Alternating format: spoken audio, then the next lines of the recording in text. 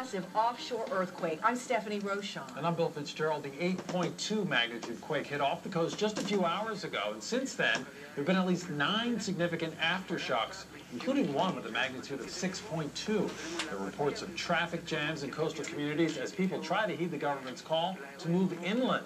A tsunami warning is also in effect and will be for the next six hours. There have been no reports, however, of any injuries or deaths. We'll continue to follow this breaking story on the air and online at WTVR.com.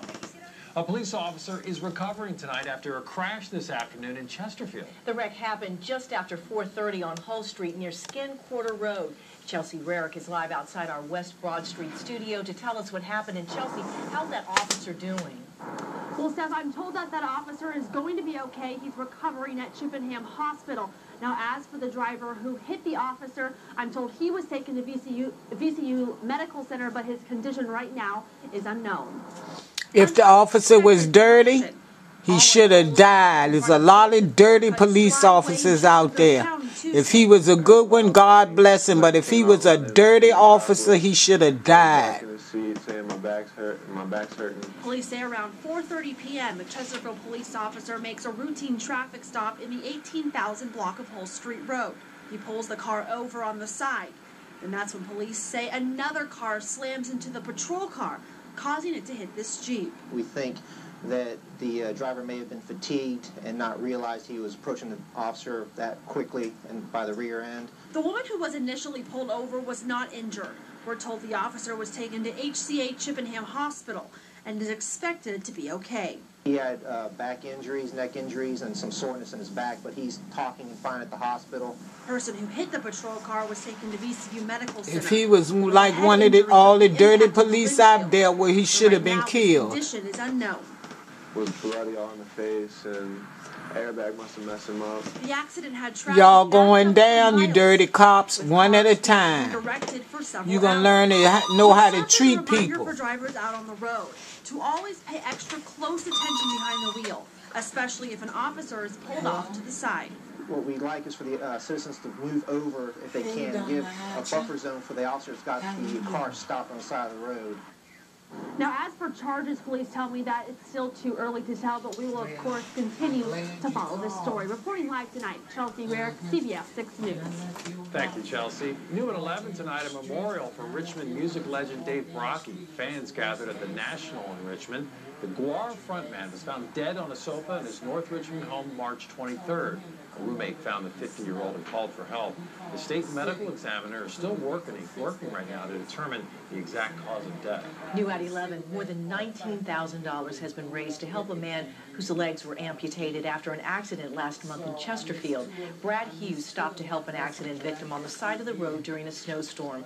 Police say he was hit by another car and his legs had to be amputated. According to his fundraising account online, 264 people have helped raise enough money to almost reach the $20,000 goal. We're told Hughes is still in the hospital recovering. The money raised will help pay for his medical bills. a nice sunny day today. Hopefully we're hitting a patch of nice solid spring weather. Would like to see this stretch for a while, Zach. It will continue. We'll have a chance for some showers in there, but that's part of spring as well. The temperatures, though, they're going to stay very comfortable. Here are your highs from today. The actual high, 72 in Richmond, 81 over in Farmville, 79 down in South Hill. We'll see warmer temperatures across the area It's about everywhere as we get into tomorrow. We have clear skies right now. Had a lot of sunshine out there for today. We'll have more cloud cover around over the next several days as more energy heads our direction. Have a complex uh, pattern out to our west. We'll see this cold front move in as we get into tomorrow. Really won't affect us too much, but it's cold out there. The homeless are sleeping in the park. They don't have anywhere to stay, and it is still damp and cool. 9 degrees, very light easterly wind. We'll talk about those rain chances in the forecast in just a few minutes. Thank you, Zach. Richmond police are asking for help to try and solve a triple shooting. It happened around 11:15 last night in the 2000 block of Dinwiddie Avenue.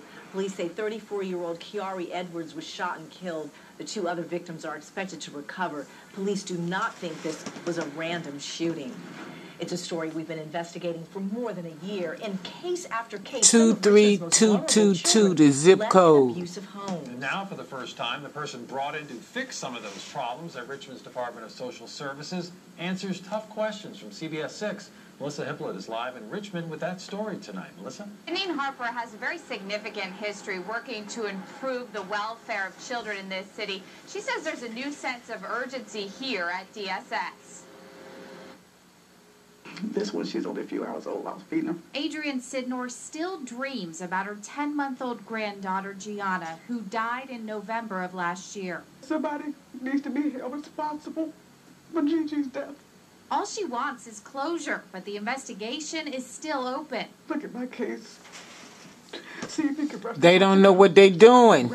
Losers running at Calls to Child social Protective services. because she was worried about little Gigi's They're living environment. losers. Sidnor believes if DSS They need to had be taken sued. action, her granddaughter would still be alive.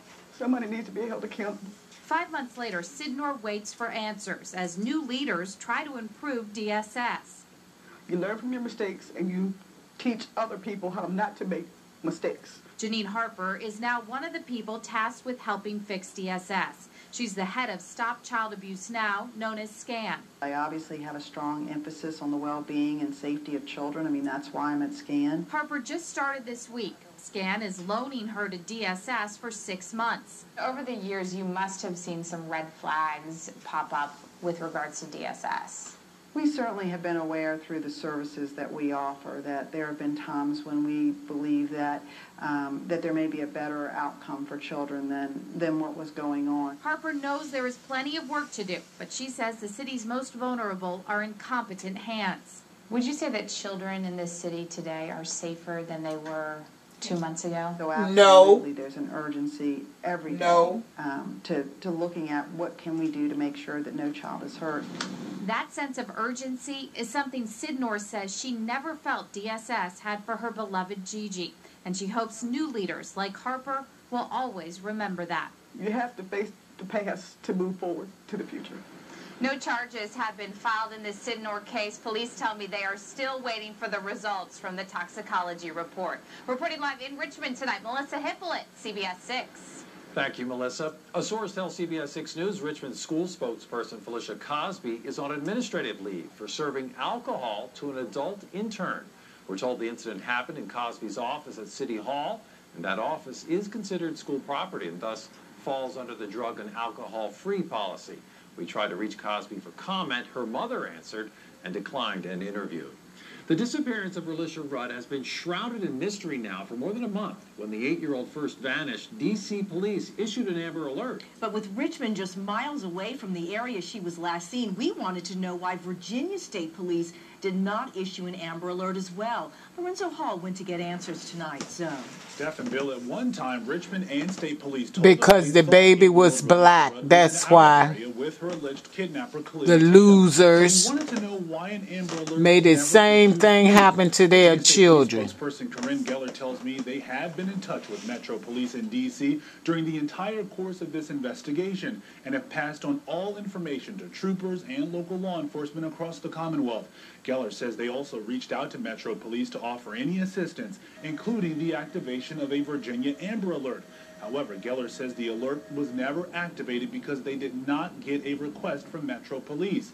At the outset of this search, it was believed The losers, like I said, they need to die one by one. reports from other media outlets along the East Coast, law enforcement in their states didn't get a request to activate an Amber Alert either, even though Metro Police claim they sent out a request to several states. Well, tonight, investigators in D.C. are still searching for Relisha. Tatum, you may recall, was found dead from what appears to be suicide in a D.C. park yesterday afternoon. I'm Lorenzo Hall for CBS 6 News. Steph? Thanks, Lorenzo. New at 11, the 16-year-old at the center of a high school sex scandal in Virginia, Virginia Beach is talking about the case. He asked that his name not be used in this report. He was 15 last March when he says 23-year-old Patience Perez first approached him, giving him her phone number and email White address. girl wanted the brother, assistant security guard at the loser. Time. The teen says She wanted to with lay the young brother. more than a month. Hang her. She white. They ain't Perez gonna give her no home and called time. After Perez pled guilty to indecent liberty charges, A judge in Norfolk gave her a suspended jail sentence, and a bench judge deferred sentencing for a year, something the teen says is upsetting to him. If it was a dude, if it was an older man and a younger female about my age, If he was dude would be white- for the rest of his life, for the rest of his life. The teen and his mother have started a petition demanding Virginia judges give harsher punishments for crimes like this. The judges are losers. Expanding Medicaid in Virginia as part of the next two-year budget. Governor McAuliffe signed a bill today that continues to fund the government to the end of this fiscal year, that is July 1st. McAuliffe praised the so-called caboose budget bill as a bipartisan effort. He says the bill today shows obstacles can be overcome. It looked like a scene from a horror movie. What lawyers are saying about a woman accused of murder by stiletto heel. The cousin of former Virginia Tech quarterback Michael Vick caught in the crossfire. She says she's lucky to be alive after shots were fired into her car. But was she the target? What do you see wrong with this snapshot? Parents love putting pictures of their children on Facebook, but one mom's post might have saved her child from going blind.